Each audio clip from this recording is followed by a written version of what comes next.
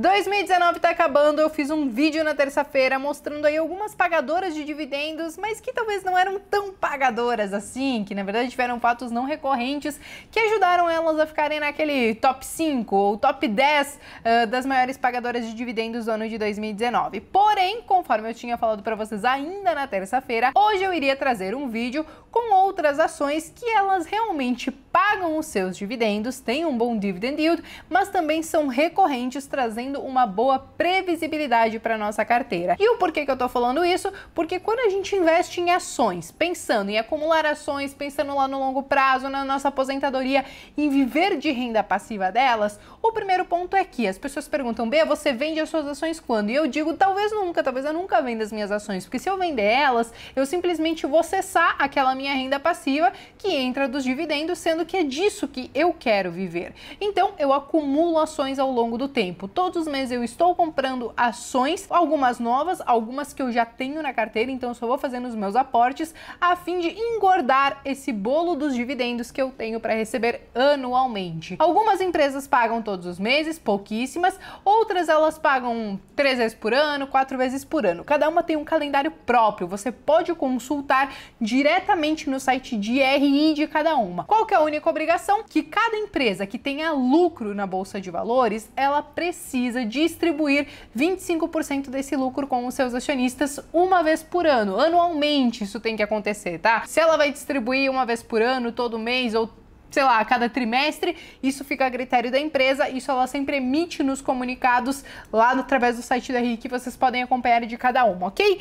E aí, gente, pensando em tudo isso, então hoje eu vou trazer essas top 15 ações que ficaram aí na. No, enfim, as ações que mais pagaram dividendos no ano de 2019. O que não quer dizer que são empresas maravilhosas. Eu não estou entrando nesse mérito de fazer uma análise fundamentalista e entender se essa empresa presta ou não presta. O que a gente está avaliando aqui é justamente esse dividend yield para saber o quão alto ele é e se ele é recorrente ao ponto de justificar muitas vezes a gente estudar um pouquinho mais essa empresa para entender se ela cabe na nossa carteira. Afinal, é uma empresa que paga dividendos, tem recorrência e traz previsibilidade na receita. Porque o que eu quero então, colocar empresas na minha carteira, ações de empresas na minha carteira que me tragam previsibilidade nessa receita e constância. Não adianta eu receber 14% de uma empresa num ano e no outro não receber nada. Isso não é recorrência, ok? E aí, gente, vamos começar? Mas antes de começar, eu vou pedir para você já se inscrever aqui no canal se você não é inscrito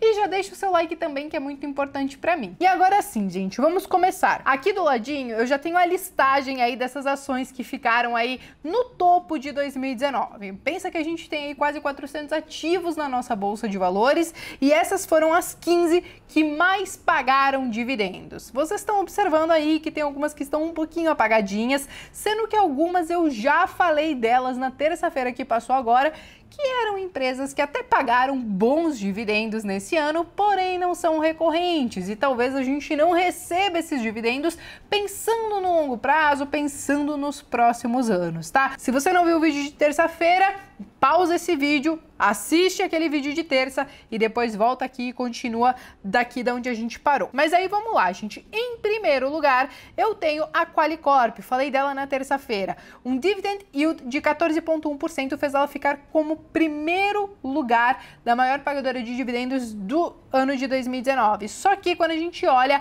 a média dos últimos cinco anos é de 6,4%, o que não é ruim. Eu falei isso para vocês na terça-feira, não é ruim. Porém, ela não consegue ter constância e recorrência nesses dividendos de 14%. Então, quem investe nela hoje pensando, poxa, vou receber 14% ao ano, não é bem assim. Você pode até receber 14% ao ano nesse ano de 2019, porém no outro você já não sabe, porque o que aconteceu em 2019 foi um fato não recorrente que ocasionou nesse dividend yield. O mesmo acontece com Enalta, gente. Enalta, 14% de dividend yield, deixando ela em segundo lugar. Só que quando você vai olhar a média dos últimos 5 anos é de 1,9%. Ou seja, se você quer viver de renda passiva, 1,9% simplesmente não serve muito. Até porque quando você se arrisca na renda variável, você quer talvez viver desses dividendos, que, que eu sempre tento trazer para mim? Poxa, eu quero receber pelo menos mais do que a nossa taxa Selic, mais do que a nossa taxa de juros, porque senão não vale o risco que eu estou correndo. É claro que eu tenho empresas que sequer pagam dividendos, mas eu entendo que eu não estou colocando elas hoje na minha carteira para dar renda passiva. Quem sabe daqui uns anos, quando elas crescerem, reinvestirem os seus dividendos na própria empresa, aí lá na frente elas podem se tornar boas pagadoras de dividendos. Porém, hoje, se eu escolho uma empresa pensando exclusivamente poxa, quero uma empresa boa que pague bons dividendos, então eu quero pelo menos uma empresa que pague acima da nossa taxa de juros. E 1,9 nesse caso de Enalta, simplesmente a conta não fecha. E a ação que ficou com o nosso terceiro lugar é a Congás, gente. A Congás tem um dividend yield nesse ano de 2019 de 9,8%. Quando você olha os últimos 5 anos, a média é de 13%, o que é bastante coisa. Só que aí eu fui realmente olhar no detalhe ela para entender se realmente era recorrente, como que funcionava esses dividendos. Pois bem, um ano ela pagou 4%, no outro ela pagou 18%, se eu não me engano, enfim, foi meio que uma montanha russa de dividendos, mas quem investiu no longo prazo realmente consegui, conseguiu usufruir desses 13% ao ano. Porém, é preciso realmente entender que se você vai investir nela, pense para o longo prazo, porque ora você pode ter um dividendo um pouquinho mais baixinho, ora você pode ter bastante dividendo. Mas uma coisa é fato, ela pagou sim dividendos nos últimos cinco anos e ela foi sim recorrente nessa distribuição. O que muda é que ora num ano ela entrega muita coisa, ora no outro ano ela entrega pouco dividendo. Eu até colocaria, talvez eu até colocaria ela um pouco mais apagadinha, assim como uma Qualicorp, como uma Enalta, mas ainda assim eu dei uma olhada no histórico dela e eu resolvi ponderar porque ela realmente entregou é, dividendos nos últimos cinco anos. Não que Qualicorp e Enalta não tenham entregue, tá, gente? Porém, a disparidade ela realmente é muito grande do que tá mostrando hoje e da média que ela tem nos últimos cinco anos, tá? E aqui eu tenho em quarto lugar a Ser Educacional com 9,3% de dividend yield, sendo que a média dela dos últimos cinco anos é de 2,7%. Falei dela na terça-feira também. Em quinto lugar, BR Distribuidora também ela distribui 9,2% de dividend yield. Falei dela na terça-feira. Não tem histórico aí de 5 anos de dividendos, porque ela é uma empresa relativamente recente na nossa bolsa de valores. Porém, ainda assim, ela não entrega os dividendos recorrentes, ou pelo menos é, que condizem com essa média que ela está entregando hoje. Provavelmente no ano que vem, como eu falei para vocês na terça, ela ainda entregue alguma coisa nesse sentido, porque ela está recebendo aí alguns acordos de Eletrobras, ela tem é, algumas dívidas que ela está recebendo. Porém, shopping a gente tem que olhar realmente para o longo prazo, como que a empresa ela está lucrando efetivamente com é, as suas atividades e como que ela vai distribuir isso para os acionistas e o quanto isso vai reverter é, em dividendos para a gente, tá? E aí, em sexto lugar, a gente tem a nossa querida Itube, né? A nossa Itaú.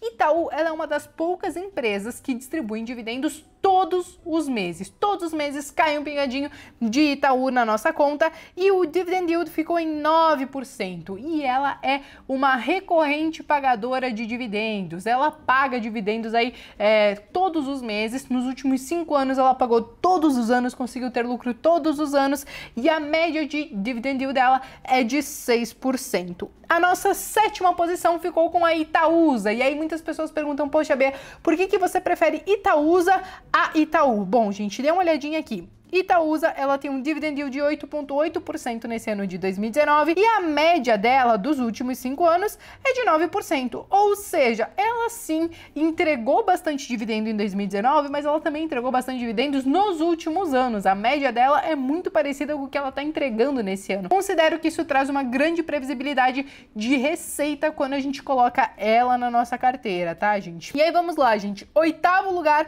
ficou com Mali Metal Leve com um dividend yield de 8,4%, tá? E aí, o, o dividend yield médio dos últimos cinco anos é em torno de 6%. Ela pagou dividendos todos os anos, foi recorrente nesses pagamentos e também consegue trazer uma previsibilidade, trazendo uma média muito próxima ao que ela está entregando atualmente. É importante a gente também entender que esse ano aí foi muito bom para várias empresas na bolsa de valores e pode ser sim que muitas empresas conseguiram melhorar um pouco pouquinho o pagamento dos seus dividendos. Mas ainda assim é algo que está muito próximo à média que apresenta nos últimos cinco anos, que eu considero então recorrente e que traz um pouquinho de previsibilidade. Em nono lugar, gente, nós temos 1003, que é a IMC, tá? E ela tá com um dividend yield de 7,7% ao ano. E vocês estão vendo que tem um tracinho aqui do lado, porque, né, no fim das contas, tiveram vários anos que ela não pagou dividendos, ou seja, ela tá com um dividend yield alto nesse ano de 2019, porém, ela simplesmente não é recorrente nos pagamentos. Ela não paga dividendos constantes. Quando paga, não sabe se vai pagar 7 ou 1% ou 15%. Então, para quem quer olhar é, para renda passiva e viver desses dividendos, com certeza ela é uma empresa que não vai servir. Em décimo lugar ficou Fesa 4, Ferbasa, gente, 7,2% de dividend yield, sendo que a média dos últimos 5 anos de 7%, muito próximo à média, pagou recorrentemente todos os seus dividendos todos os anos e também com uma média muito boa. A gente tem aí dividend yields acima da nossa taxa Selic, tá? A empresa que está dando lucro nos últimos 5 anos também distribui dividendos nos últimos 5 anos, tá? E aí, em 11 primeiro lugar, nós temos a SNA com 6,8% de dividend yield, sendo que a média dos últimos 5 cinco anos não teve, gente, porque assim como a 1003, ela teve anos que ela não pagou dividendos, não conseguiu distribuir dividendos, claro, muitas vezes também porque teve prejuízos, tá?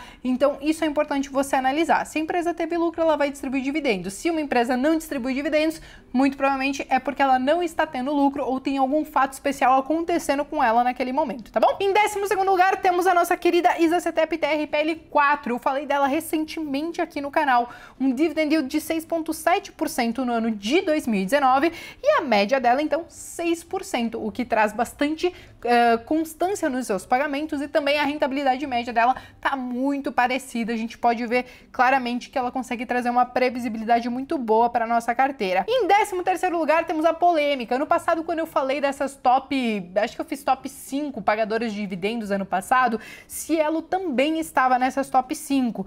E aí, claro que aqui eu não estou levando nem em consideração o modelo de negócio, negócio, o que, que aconteceu, se está ultrapassado, se ela está conseguindo se reinventar com os novos projetos dela o que eu estou olhando aqui realmente são os dividendos, que estão na casa de 6,6% nesse ano de 2019. Só que quando a gente olha a média dos últimos cinco anos, cai para 4%, ou seja, abaixo daquela taxa de juros que a gente gostaria de estar tá superando. O que talvez não me faria colocar lá na carteira se fosse para pensar em dividendos. Acho que nós temos outras coisas bem interessantes também, tá? Inclusive, tem coisas interessantes que não estão nesses top 15, mas que eu mesma tenho na carteira, depois eu vou falar isso para vocês. E aí vamos lá, gente, para finalizar, 14 quarto lugar, nós temos BRCR6, que é Banco Banrisul, também já falei aqui no canal, com 6,5% neste ano de 2019, com uma média de 8% nos últimos cinco anos. Geralmente, a instituição financeira consegue sim é, trabalhar no campo positivo, dando lucro, consequentemente consegue distribuir bons dividendos também, tá? E por último lugar, em 15º lugar, nós temos Taesa, com 6,2% de dividend yield, sendo que nos últimos 5 anos a média foi de 11%. Eu sei que muitos de vocês têm Taesa na carteira pensando nos dividendos e ela realmente é recorrente nos seus pagamentos, é constante nos pagamentos e traz uma previsibilidade muito grande. Agora eu volto a dizer, gente, tem muita empresa aqui que se você for olhar no detalhe a qualidade da empresa, o que ela faz, o setor e tudo mais, é claro que depende muito da filosofia de cada investidor. Então não cabe a mim dizer assim, ó, oh, isso aqui presta, isso aqui não presta, porque eu, por exemplo, não invisto em setor de educação, de educação não, de aviação. Mas tem gente que investe sim e não tem problema nenhum. Então cabe você fazer uma análise detalhada, fundamentalista, entendendo o modelo de negócio, entendendo os números, o que, que a empresa está fazendo para entender se ela realmente entra na sua carteira ou não. Mas claro, claro, aliando também com os bons pagamentos de dividendos. Quando eu olho para minha carteira mesmo, eu não tenho todas essas empresas aqui. Aliás, dessa lista aqui, eu acho que eu não tenho, eu tenho talvez Itaúsa. Olhando aqui meio que por alto, eu tenho Itaúsa, é.